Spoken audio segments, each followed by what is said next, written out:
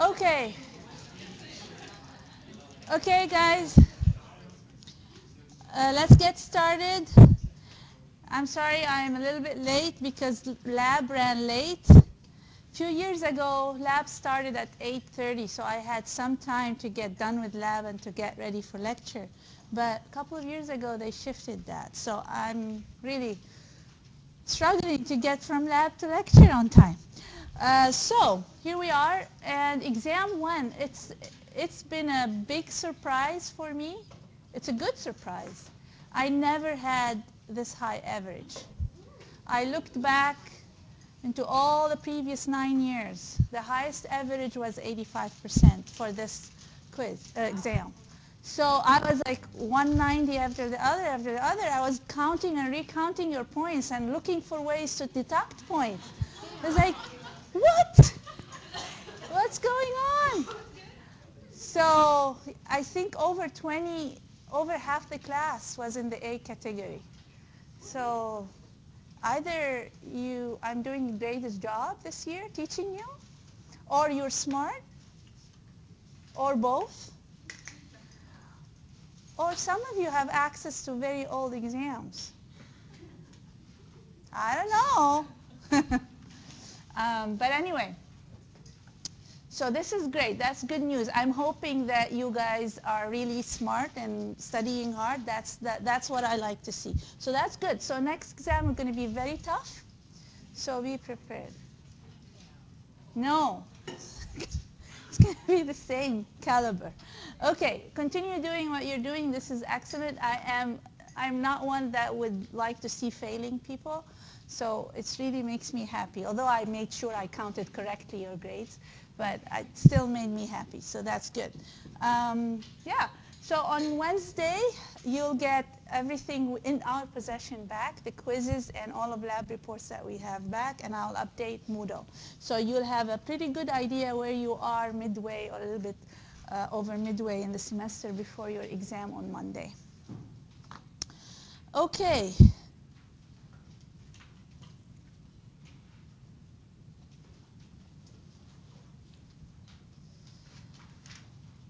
Okay, so a little bit recap from where we were last time so that we can continue where we left off with the carbohydrate. How do we measure total carbohydrate? Yes, Peter.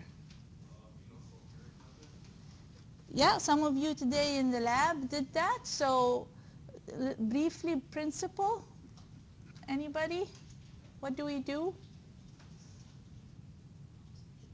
Those of you that had lab today, what did you guys do? Briefly, can you summarize?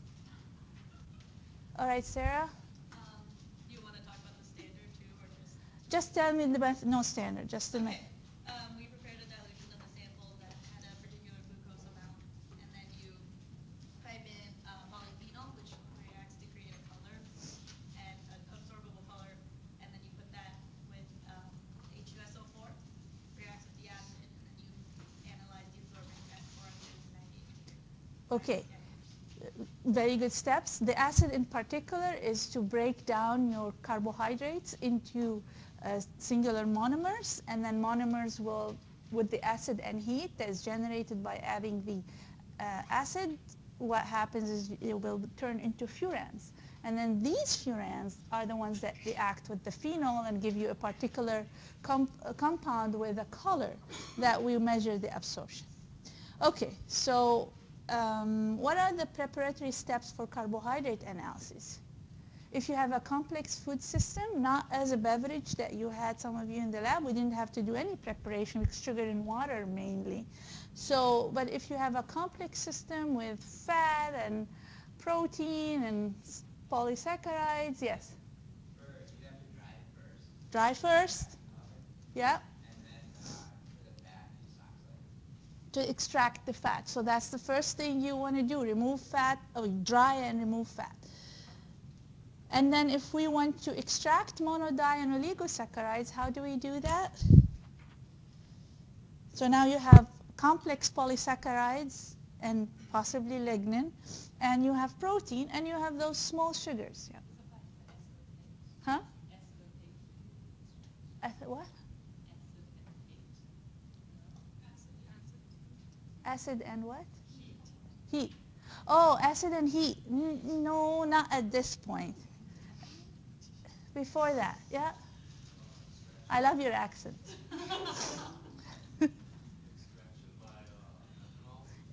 80% ethanol extraction with a little bit of heat so that you can solubilize your monodi and oligosaccharides, protein and starch and fiber will precipitate. Okay. Some of the methods that we use to determine monodi and oligosaccharides, general method, not the details about the methods. Okay, uh, not Justin. Colorimetric methods, enzymatic assays, and one more we're going to talk about today, chromatographic assay. By the way, some of you emailed me participation. I remember some, some of you participated on Friday but did not email me. Before I forget who participated, I do remember. Go ahead and email me before I forget that uh, we're doing that, and I will relay that to the TAs. So just do send me your participations. Okay, from only Friday. Today we have Claire.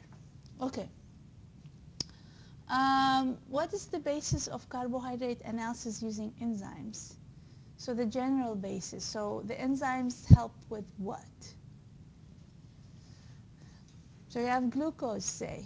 Does glucose absorb light? No. So we add reagents and enzyme to ultimately generate a product that, or a reactant that will absorb light. So it's based a colorimetric evaluation using enzyme converting our substitute that we are, uh, or constituents that we're aiming to analyze that is not a chromophore, reacted with a reagent, with an enzyme to create a product or the reagent that we used would be chromophores. So we can do the um, spectrophotometric methods. And of course, we always need a standard curve when we have enzymes. Okay, so moving on, we are still with analysis of mono and di and oligosaccharides. We're going to move on to chromatographic methods. So we talked about colorimetric and enzymatic. We're going to move on to chromatography methods. And like I said, this portion of the semester is all application to what we learned in terms of uh, methods of analysis, chromatography, spectroscopy, all of that. So here are some applications of chromatography specifically for monodi and oligosaccharides. So qualitative methods, so you can use paper and thin layer chromatography to get qualitative information. So here's a mixture of sugar that was extracted from any type of food product that might have these. And then you would separate them and then you will visualize by autoradiography. And you can do quantification if you do measure intensity of the spots. But if you go with intensity of the spot, you have to have standard curve on the, the paper itself or do relative quantification like we did with GC relative. So we only get the intensity of sucrose and glucose. And for example, this sample doesn't have sucrose, only has glucose. But here you can take the relative abundance. Let's say this is 30%, this is 70% based on the intensity. So you can either get relative semi-quantification or you can run, run standards on the same uh, paper or thin layer chromatography, different concentration, get the intensity and actually plot a standard curve. So you can do that, but um, it's not that common. Usually it's only for qualitative. So this is just FYI, really if you use paper chromatography, what would be the stationary phase and what would be the mobile phase. So this is polar, more normal phase chromatography when you use uh, mobile phase that starts as organic phase. And then thin layer chromatography can also be cellulose, silica, or impregnated silica as stationary phase, and several different types of mobile phases that can be used. With TLC, if you remember, with chromatography, you'll have better resolution and sharper spots. Okay, here's where we're going to spend a little bit more time. Um, so you can separate and quantitate mono, and oligosaccharides using different forms of or different modes of separation. So this is HPLC modes of separation. You can do normal phase, reverse phase, anion, and cation. Let's look at each one of those. So normal phase, you will have unmodified silica as your stationary phase, and it is polar.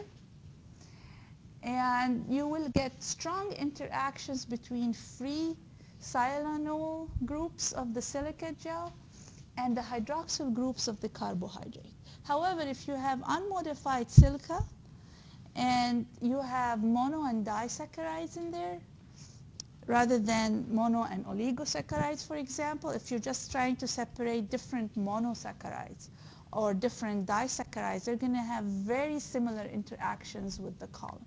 Very similar and strong interaction with the column, so it's very hard to get good resolution. So instead, we use chemically modified silica. And when we do the chemically modified silica, it will become hydrophilic interaction liquid chromatography. Um, rather than, if you remember, we have hydrophobic interaction liquid chromatography here. Silica that is being modified with an amine group is very polar and it is referred to as hydrolytic, uh, not hydrolytic, hydrophilic interaction liquid chromatography, yes, Amanda. So you use it chemically modified for the carbohydrates, that you're saying? Or Yeah, for, because when you have mono, di, and oligosaccharides, and if you have multiple monosaccharides, they are all hexoses, right, or pentoses if you uh, have some pentoses. They'll be very similar in their interaction with the column. So if you're looking at galactose and glucose, you might not get separation. Okay? Um, so we do some modification to impact the way that they interact with the column. And like I said, you will have an amine bonded stationary phase. So your silica will be will have a, a group with an amine group at the end. And that amine group will form hydrogen bonding with the OH groups from the carbohydrate, monosaccharides or disaccharides, or what you have in the system. So again, it still is a polar stationary phase. Therefore, you start with a mobile phase that is nonpolar or relatively nonpolar. And, well, separation is influenced by column temperature. Is It's a very common thing that you control the temperature to enhance resolution. And like I said, you form hydrogen bonding with the amine group and the hydroxyl groups of the sugars. So since the hydroxyl groups are the ones that form hydrogen bonding with the amine group, so the sugar that has more hydroxyl groups will interact longer with the column, right? So usually monosaccharides will elute first, followed by disaccharides or oligosaccharides that you have, depending on the structure as, as well. Um, so, so the order of elution, it has, it's directly related to the OH groups that you have on your sugars and how many you have and how many accessible to do hydrogen bonding. Detection using normal phase is usually with RI, refractive index detection. Drawbacks, you cannot have a gradient elution. Why is that? Can you remember from covering spectroscopy? Why with IR we cannot have gradient? Gradient is changing the mobile phase concentration over time. Do you remember, Monica? Because the solvent will contribute to refraction, so when you change the concentration of the solvent, it can change the refraction. That is true. So therefore, you always have to have isocratic elution. That means constant uh, concentration of your mobile phase because you don't want to have changes in the refraction due to changing the mobile phase concentration. So because of and the other drawback is it is insensitive, so it has really high threshold. You need, you cannot detect at low concentration. Um, and it's not specific. It's not specific to fructose versus sucrose versus other oligosaccharides. So you really have to rely on retention time and run your standards, external standards, to identify where uh, fructose is versus glucose versus lactose, etc.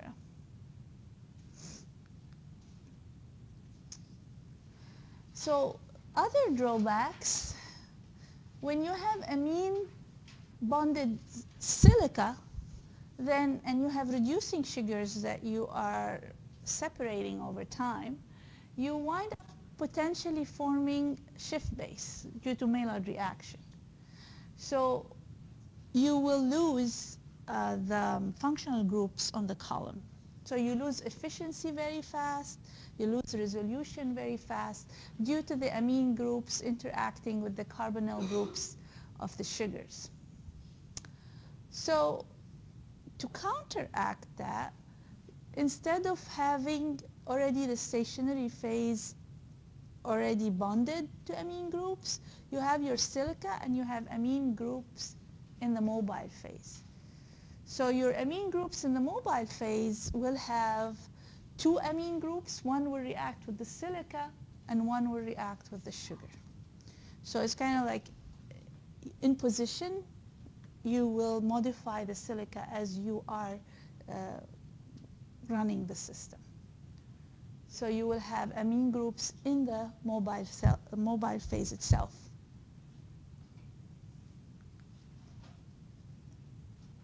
There are other modifications than using amine groups. There are two different types of modifications that can be done, but the principle is the same. You will form hydrogen bonding.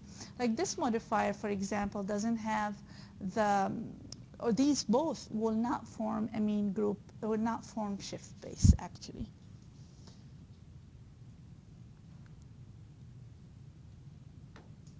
Okay, questions? Am I going too fast? Okay. So reversed phase. So in this case, you use the C18 column where it is uh, silica bonded to C, C18, carbon, 18 carbons, hydrocarbons. So this makes it a hydrophobic or nonpolar stationary phase.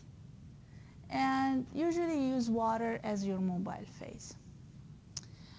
So are sugars uh, polar or nonpolar usually? Monosaccharides, disaccharides, are they polar relatively or nonpolar? Polar. So having them interact with the column really and not come out with the water is going to be a problem.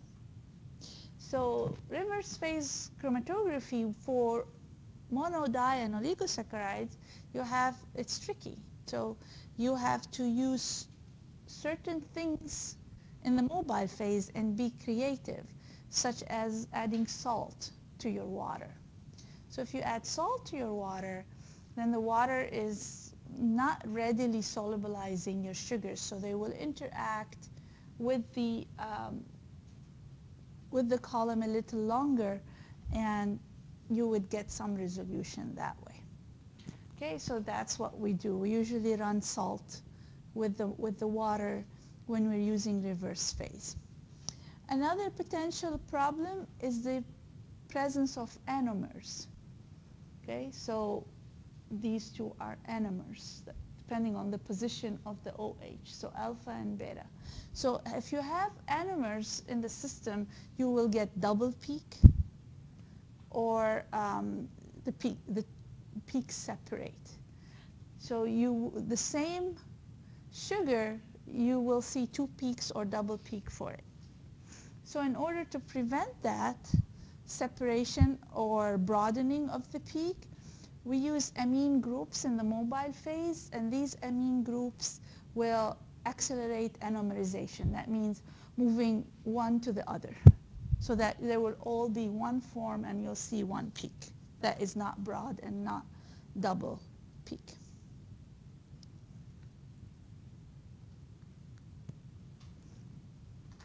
Anion exchange. So that means we're exchanging what? Positively charged or negatively charged groups? So negative or positive? Positive? Negative? Okay, first of all, anion carries exchange. So we're exchanging negatively charged. So the column is positively charged. Okay, so the column is stationary. It's positively charged, and what you're exchanging are your anions.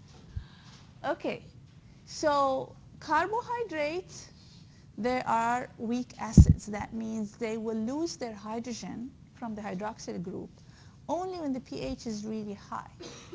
And that's why we call them weak acids. They are reluctantly going to give you the hydrogen, but only when the pH is high.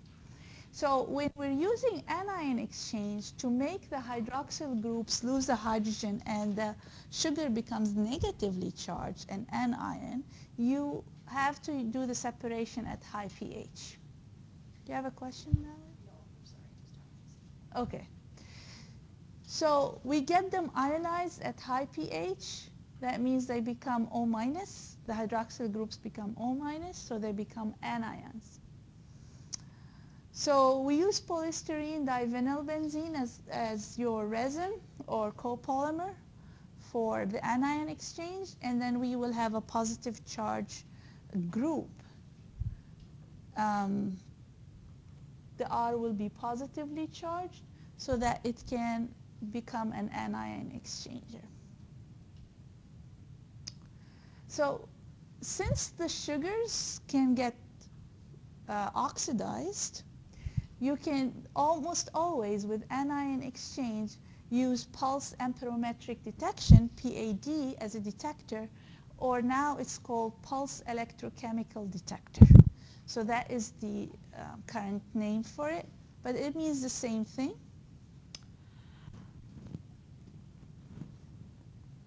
So, and then what do you think the order of elution is in this case?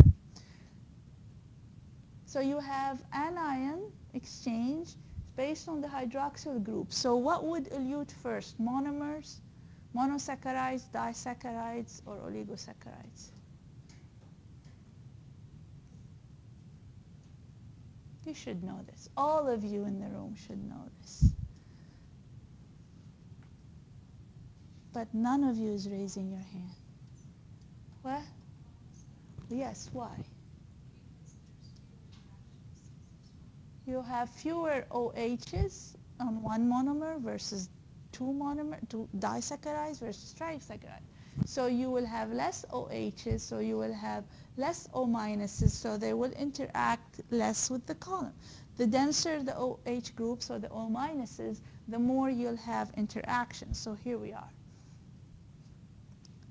So, and also it has to do with the structural difference too, not just. But anyway, monomers come out first and di- disaccharides come out next.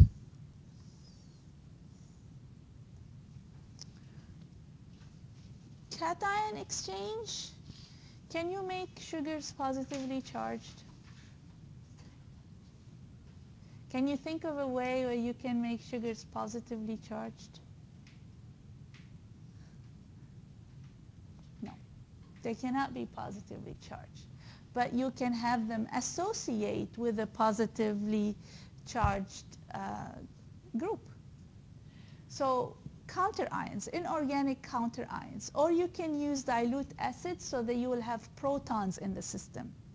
So they will interact, uh, they, they call the type of interaction coordination complex, where your OH minuses interact with positively charged group. It can be inorganic counterion or a proton. So when they interact, then they are indirectly carrying a positive charge. Then you can separate them via cation exchange, where your stationary phase is negatively charged. And then um, and then they are indirectly carrying a positive charge. But this type of chromatography, usually it's a combination of ion exchange and size exclusion. So they are also separated based on size. So that's a very common combination for this when you're using cation exchange. That's why the order of elution is flipped. So you have the, the disaccharide first because it has to do with uh, size. If you remember from size exclusion, larger molecules come out first. So that's why the order of elution is different than anion exchange. So I'd like you to remember order of elution for the different chromatography and the reason behind it. Okay? Because it could be a question.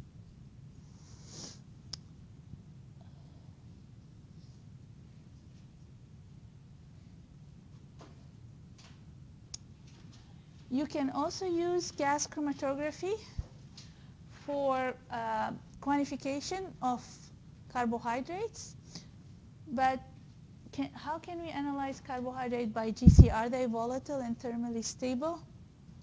They're not. So like we did with fatty acids, you have to derivatize. So basically, there you derivatize. There's either silylation or acetylation or trifluoroacetylation, different types of derivatization where you attach a group to the sugar and therefore it becomes volatile and thermally stable. So first of all, the sugars are reduced to sugar alcohol. So the carbonyl becomes, will break down and become, uh, carries an OH, becomes a sugar al uh, alcohol, and from there you get the sugar alcohol and attach an acidic group to the um, OHs. So the uh, acetate will take the H group, the, the, um, the H position on the OH. And then it becomes thermally stable and becomes uh, volatile. So FID is your regular detector. Use it. I don't require you to remember the type of the column. And then in this example, you use erythritol as an internal standard. And actually, there's two internal standard I see. And then the different monosaccharides.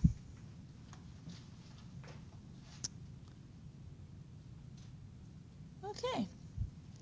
So moving on to polysaccharides, or polysaccharides and dietary fiber really.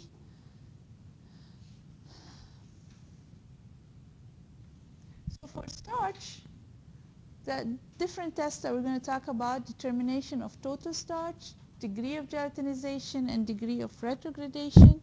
And then for fiber, we're going to talk about total dietary fiber and pectin specifically. So for total starch, the qualitative, you want to know whether or not you have starch in, in, a, in a product. So iodine reacts with starch and gives you a blue color. And you'll notice later on in some of the labs, we actually use starch as an indicator if we have iodine-based reaction. So anyway, so starch reacts with iodine and gives you a blue color. This is a very qualitative just to see if the starch is present or not. And then if you want to look at the morphology of starch granules in different grains, for example, you would use microscopy to characterize starch granules, swelling of the starch, change in morphology due to processing or milling. So you can do that by microscopy. Okay, that's it for qualitative. Quantitative analysis for starch. Mallory, what do we do? You've done starch? So it's basically Very similar to its total carbohydrate, but just some different reagents. total dietary fiber, you mean? Starch? You do total carbohydrate assay for starch? I think you, you forgot. We do a lot of enzymes. Yeah. We use Megazyme. Reagent with absorbance, right? A the end. So there's, there is no sulfuric acid or phenol. Um, so the starch is really based on breaking down the starch by enzyme to give you glucose. And then the glucose, you would use another enzyme reaction to get you a colored compound that you would measure. And you would do a standard curve and you back calculate the concentration of starch. So let's go through it. So yeah, that's exactly what I said. Starch is, to- is converted totally into glucose by enzymes. What kind of enzymes do you remember from food chemistry? Do I show that next slide? Do you have the next slide? Yeah, you do have the next slide. So let me spare the question. Okay, so a bunch of enzymes usually are needed to get the starch all broken down to glucose. So the kit, there's a Megazyme kit that we use in the lab, usually have alpha amylase. And alpha amylase is an endoenzyme. It will break down glycosidic bond within the polymer. Glucoamylase is needed because once you break it down, you now want to break into singular glucose units. And it's an exoenzyme. It will take one unit from the exterior and cleave it off. To have better efficiency, you want pullulanase, which really breaks the uh, alpha 1 6 linkages, right?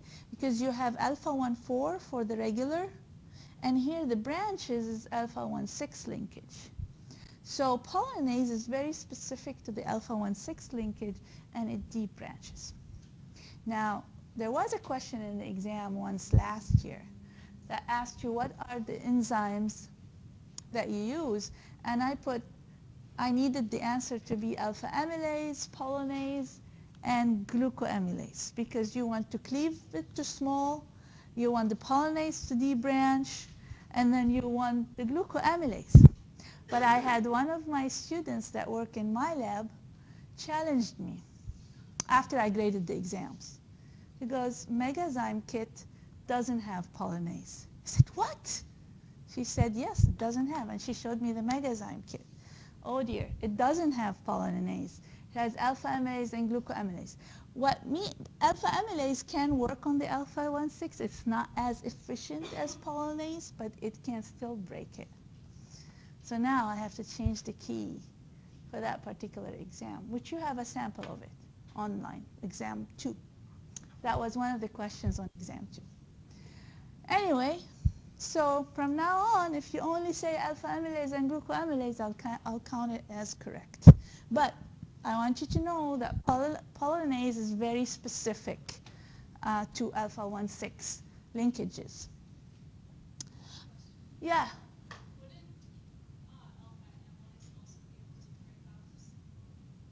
not, not as efficiently because it's not an exo. Um, so it won't take one at a time. It's usually, if only if you have a dye, it's not very specific to a dye, disaccharide either. Okay, so no, it is an endo. It needs a big polymer to work, and that's why you need the glucoamylase added. Yep.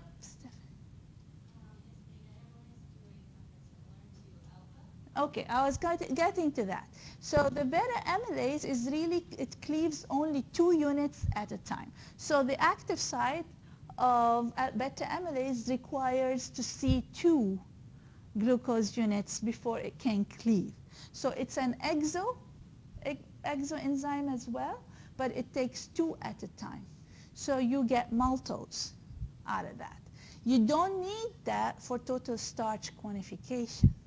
You don't need beta amylase for total starch quantification, but what I want you to remember for now, beta amylase and pullulanase do not act on not gelatinized starch. So it does not act on raw starch, basically.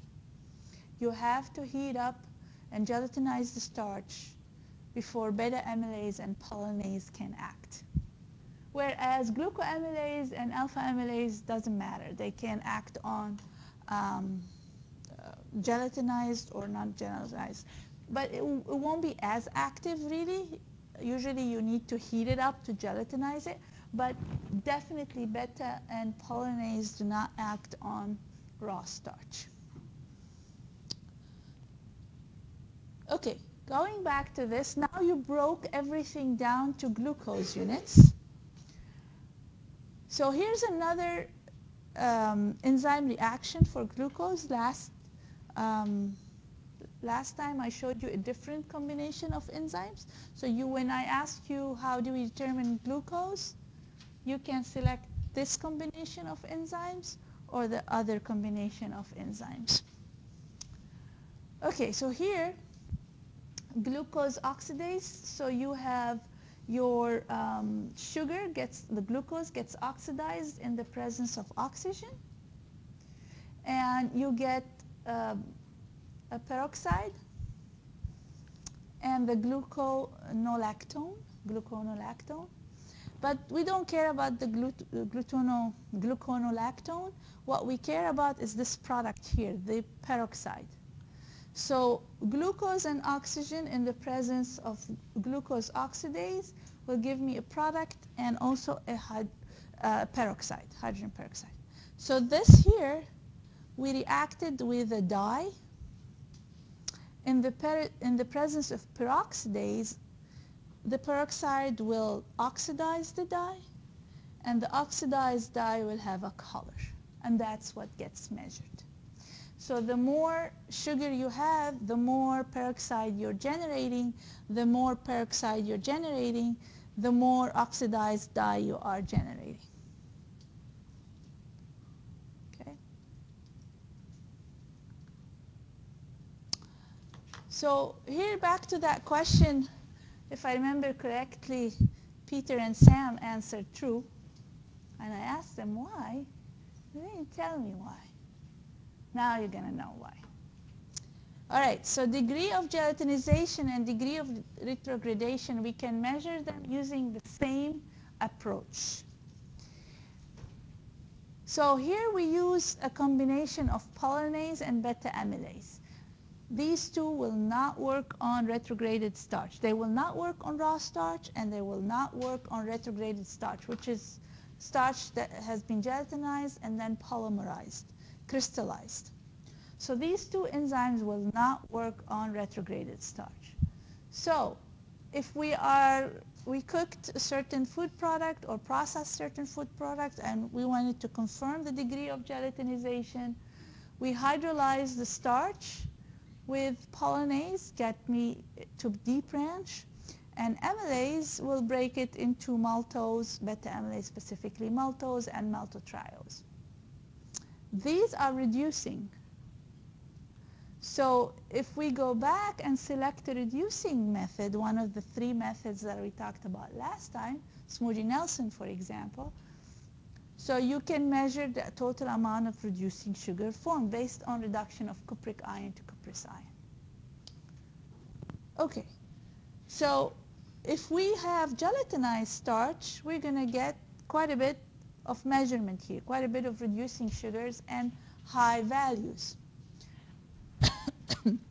if I want to monitor staling over time or retrogradation of, during storage, I will run the same test and then I will get lower amount of reducing sugars because I won't get pullulanase and beta amylase to be as active because on retrograded starch they won't act.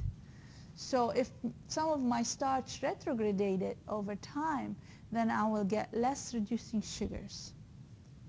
So that's why one method can be used to determine both due to the fact that pullulanase and beta amylase act on gelatinized starch but do not act on raw or retrograded starch. So if you just processed food and you want to know how much you have raw compared to gelatinized starch, then this will work because also they won't work on raw starch. But if you know that this has been processed and you're storing it and then you will see over time that you will lose the amount of reducing sugar, you know that you have increased the amount of retrogradation over time. Yes, yes.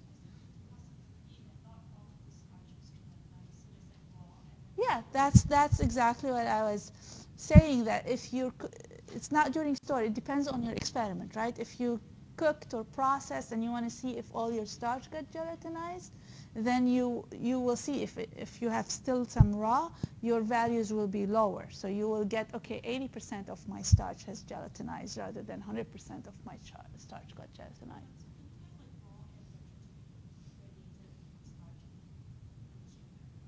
Well, mm, well, you have to start, the retrogradation happens after storage. So you would design your experiment and you know that there's possibility for retrograded starch now. It, usually, after, as soon as you process, you don't have retrograded starch right away. So either gelatinized or still raw. So it depends on the time point that you do the measurement. Okay, so dietary fiber.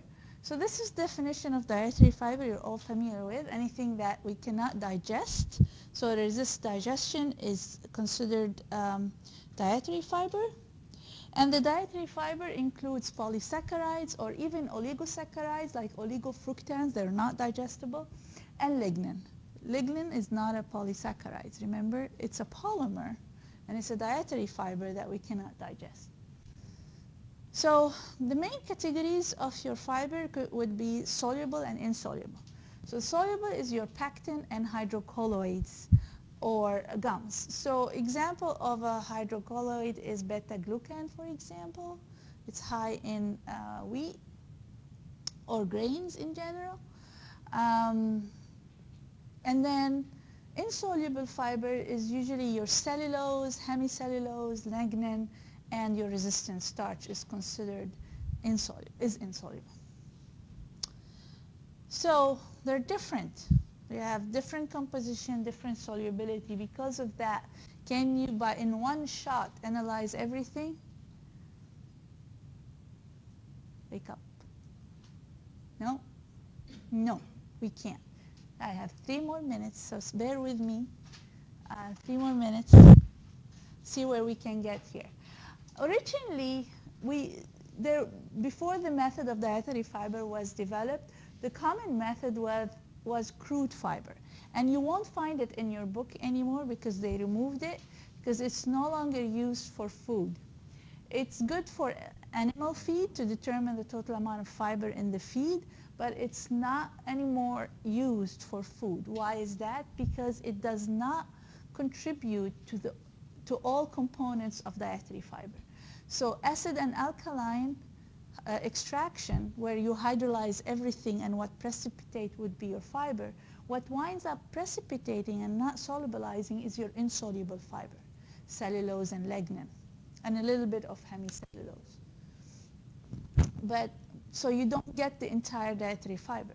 Same with detergent extraction. You also don't don't get um, all of your soluble. You lose pectin and hydrocolloids and gums. They don't get, um, they don't filter out. They don't precipitate. They remain soluble.